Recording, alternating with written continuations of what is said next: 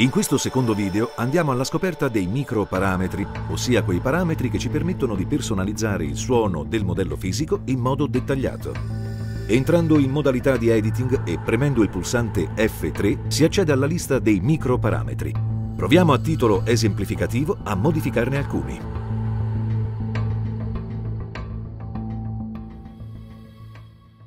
La massa del martello influenza l'energia trasmessa alla corda variandone la durata dell'impatto. Col martello più pesante si generano riflessioni multiple per un suono più ricco e colorato.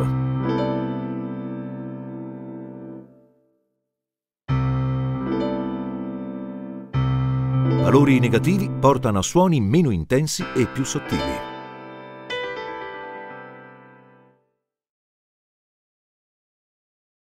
Lead point è il punto di percussione che nel piano vero non si può modificare essendo fissato dal costruttore.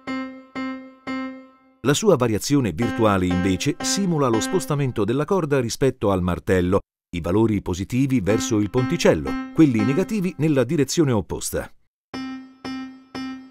L'effetto sonoro che ne deriva è di un sostanziale cambio del tono dello strumento dovuto alla variazione delle formanti.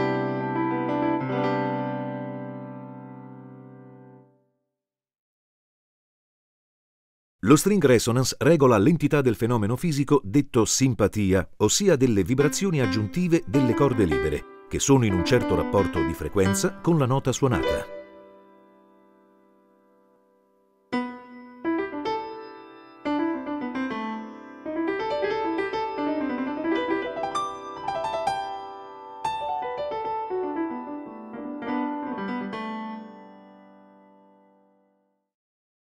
Il parametro Damper Resonance ha la stessa funzione del parametro precedente, ma nel caso di pedale premuto.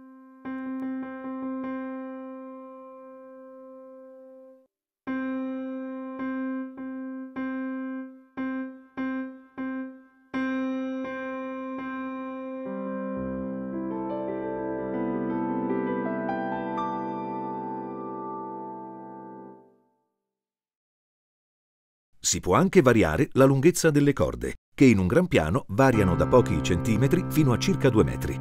L'effetto principale è la durata del suono.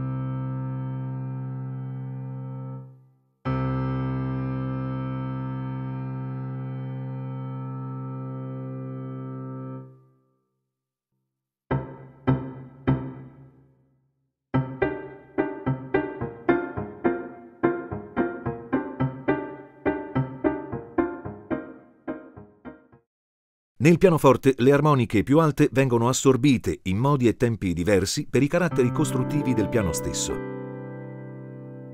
La modifica di questo parametro varia l'entità di questo assorbimento.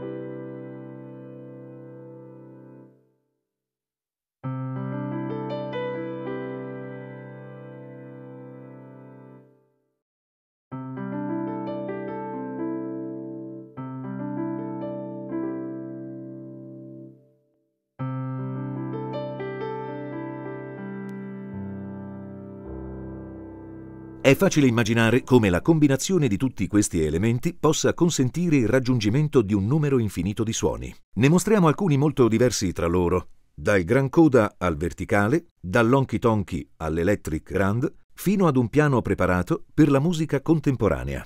Tutti realizzati col modello fisico del pianoforte acustico.